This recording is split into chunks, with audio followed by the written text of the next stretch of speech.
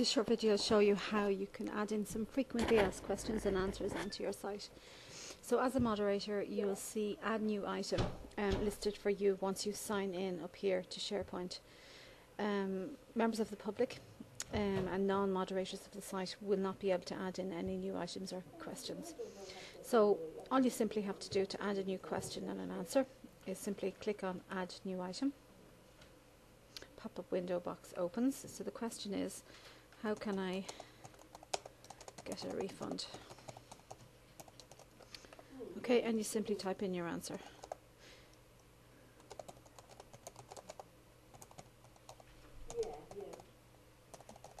Um, like Word, you can highlight, you can bold, you can change the colour, and so on, and select OK. Now, you can see there, um, the members of the public can see, that's question one, how can I, and the second one is how can I get a refund, and they can see the answer beside it. Um, if you want to delete a question, all you have to do is simply rest your mouse up here, and you'll see a little black triangle.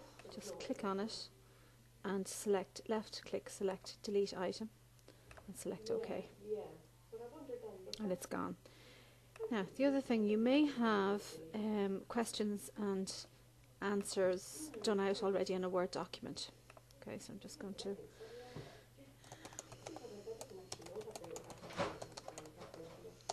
There's my question and then my answer too. Okay, so you may have a list of them done already. So I'm going to leave that there and I'm going to go back into my add new item. Okay, so I'm going to add a new item. Now what I can do is I can actually go across and into my Word document and I can highlight, um, copy,